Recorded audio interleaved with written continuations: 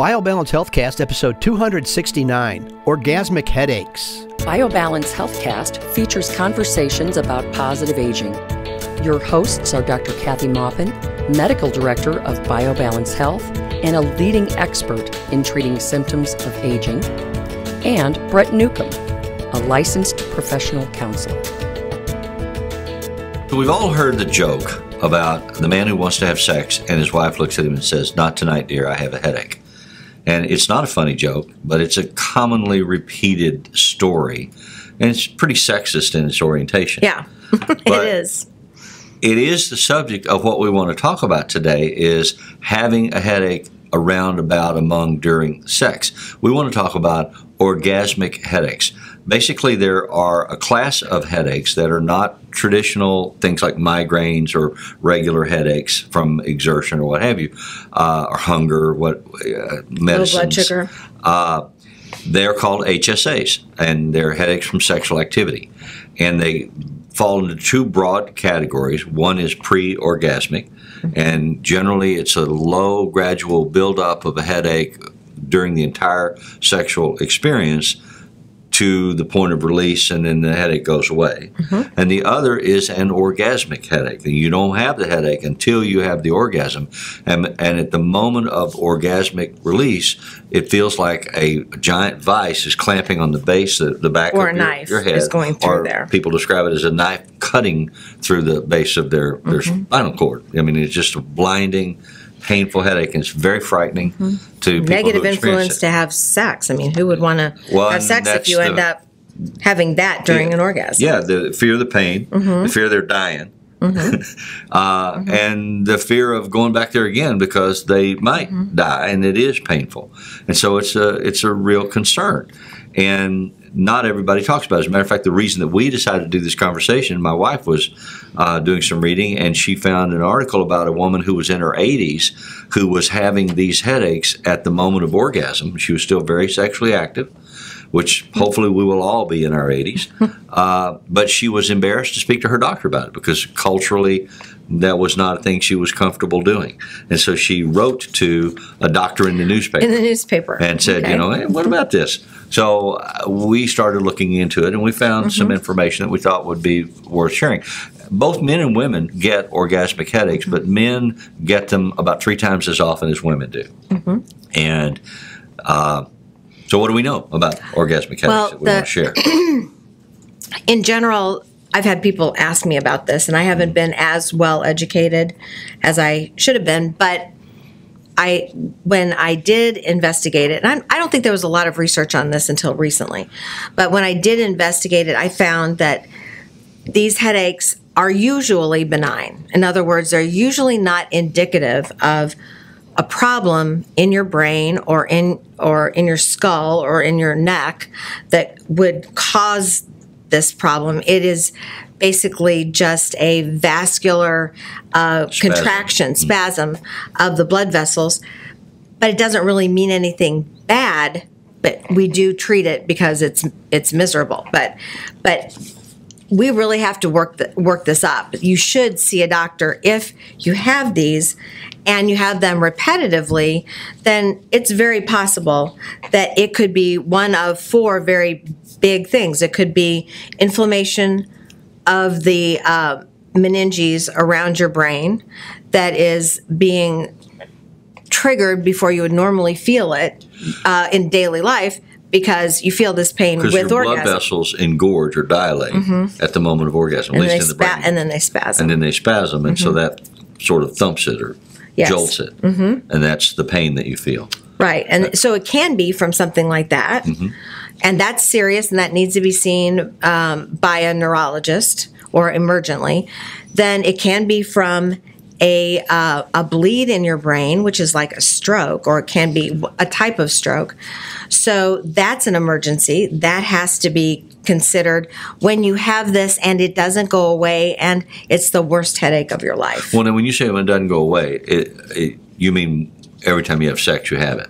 Right, but when when you have sex, no. I mean, when you have sex, you have it, and then it continues for hours, Hours afterwards. because it can last as long as 24 hours after Right, but it, it gets worse usually if it's something bad and it just stays the same or gets better over 24 hours. Right. If it's if it's not something that is a serious problem. So it can it also can be a sign of a spat we call it space occupying lesion, some type of a mass in your head, which is not always cancer, but it's something that is taking up space. So when you have an orgasm that is you have your sign of this space occupying lesion earlier than you would normally have it in just normal life. So it would be a, a early sign. So for that, you would need to have investigation by a physician. And most of the time, they'll do a CT scan or an MRI of your brain and look to see if there are any of these things. Because if there are, then you're going to need treatment for that specific problem. And when they resolve, the headache should resolve. So, to be clear, what we're saying is that most people who get orgasmic headaches don't have anything wrong that they need to worry about. They can be treated. There are treatments. We'll discuss what those are, uh, and they they generally pass. Well, if you start having them, a couple weeks go by, you continue to have sex, you stop having them. After a while, That's, you that's what most people. That's do. usual. But we want to make the point that even if you're in that category of most people and it'll go away in a couple of weeks, it's potentially life threatening. And it's a warning sign that you should not ignore. And so if you have them, immediately get in touch with your physician say, This is happening to me. What are we going to do? And they will advise you then. Typically, what they want to do is take a, a CT scan uh, Mm-hmm. And to look, look for at these, your brain. Mm-hmm. these things that Kathy's talking about. And for preventative medicine's sake and for your own peace of mind, it's well worth doing. I think I think it's essential, especially if it's a new onset and it's really severe. Then you should you should go to the doctor for that and and not wait.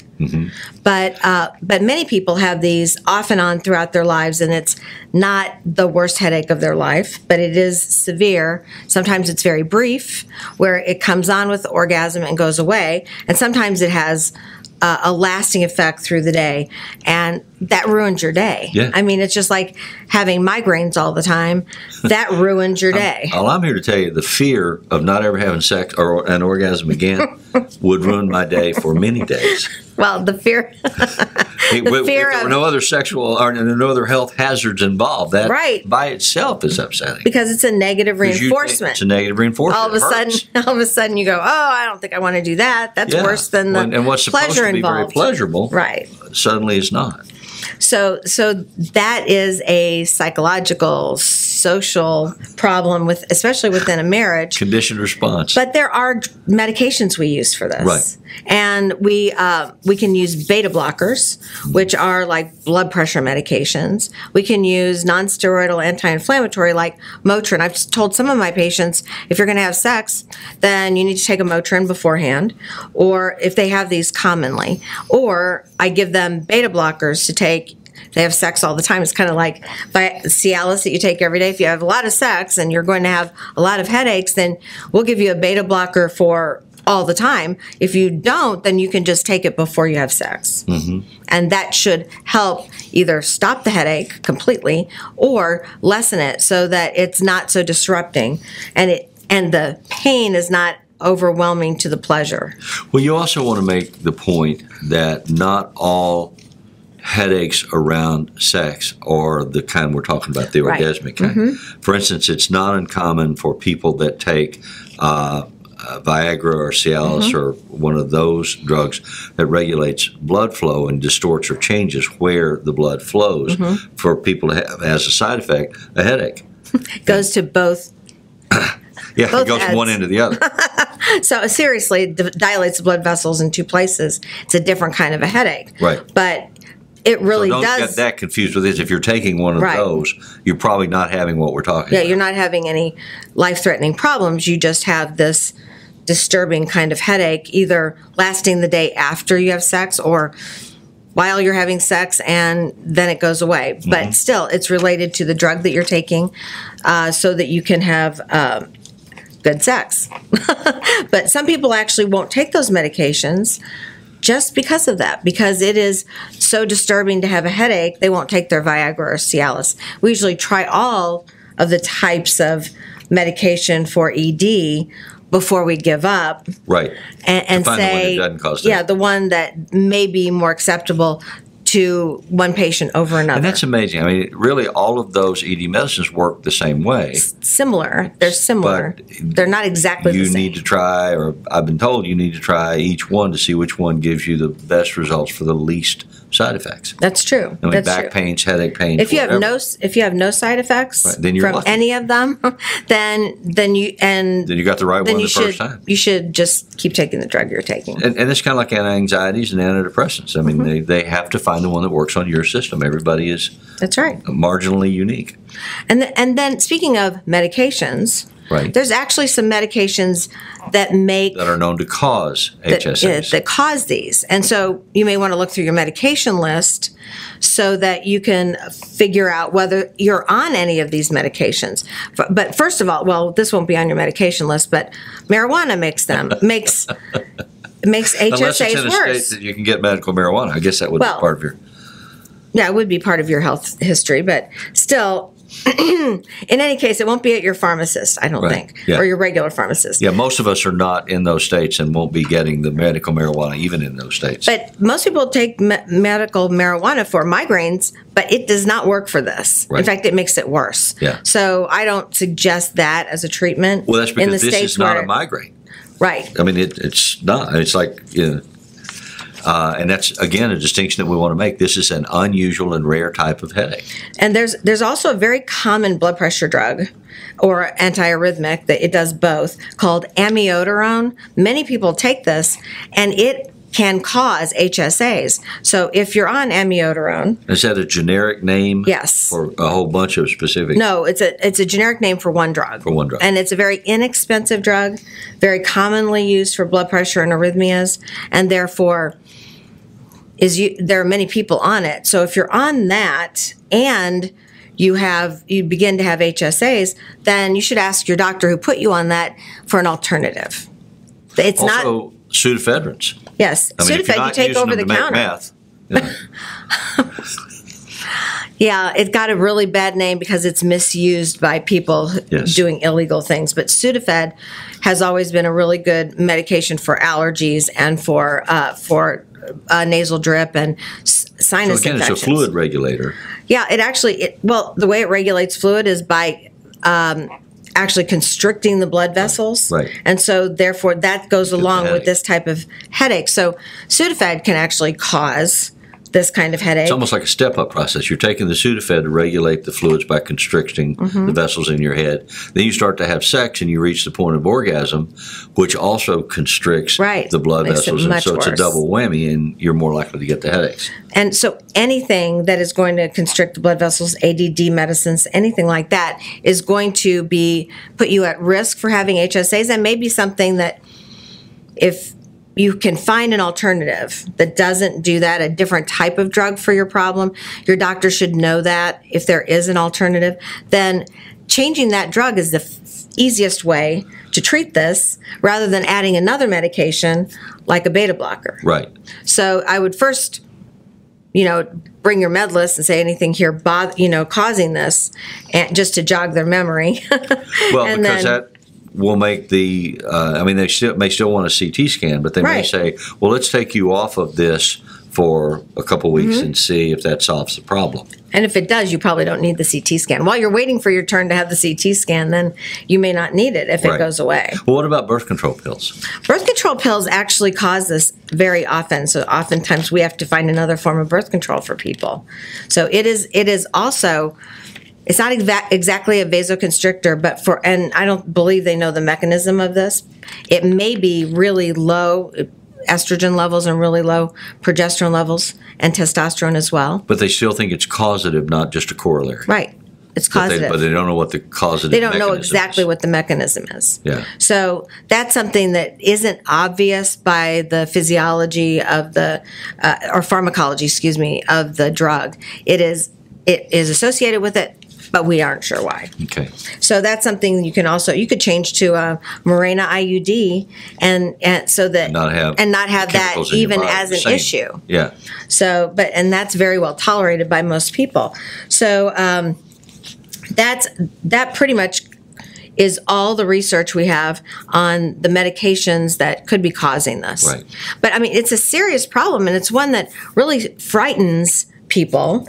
And they're always aware of this until their memory kind of covers it over like we cover over everything that is is scary like childbirth. We forget how bad it was. We after a while if you've had a, an episode of this or several episodes in a row you forget how bad it was. So then we slowly go back to normal activity. It's one of those things god gave us to allow us to live past, after kind of trauma.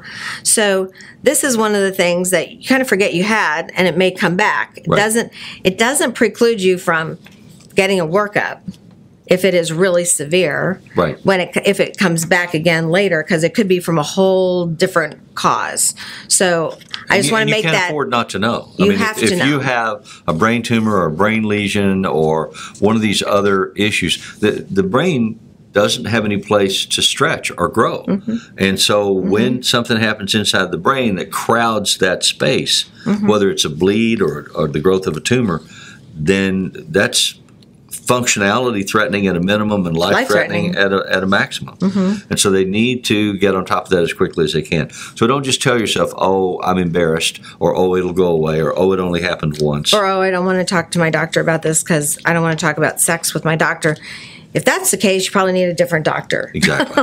exactly. but you know if you're embarrassed to talk to who you Even go if you're to 80. even if you're 80 but having said that it isn't it is difficult to talk to anybody about your sex life it's very personal and it's hard to talk about even in my office so but it is necessary you can't just ignore this and i, I expected an 85 year old i would be concerned about you know a stroke, Yeah, absolutely. stroke. so I would be, I would ask them not to have sex until we figured this out.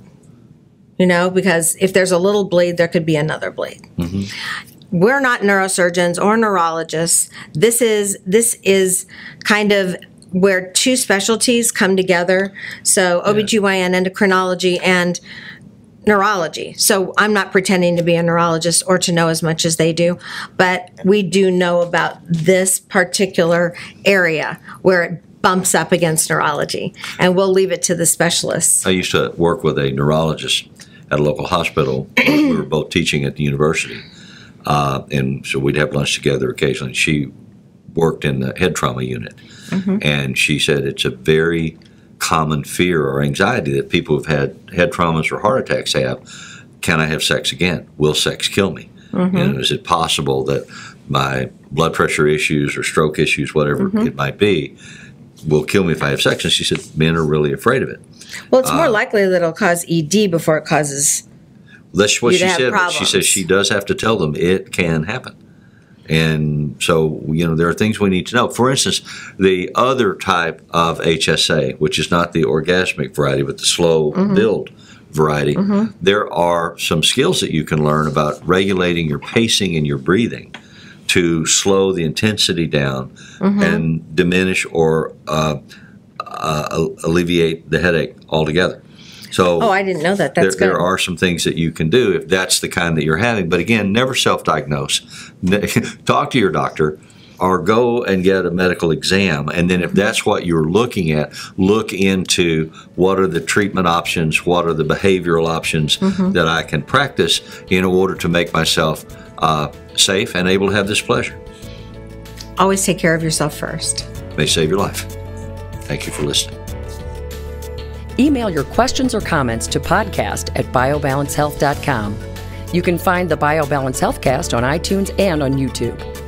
For more information about bioidentical hormone pellet therapy and other reverse aging solutions, visit biobalancehealth.com or call 314 993 0963. You can find Dr. Maupin on Twitter at Dr. Kathy Maupin and on Facebook at facebook.com slash biobalancehealth. Find Brett Newcomb at brettnewcomb.com.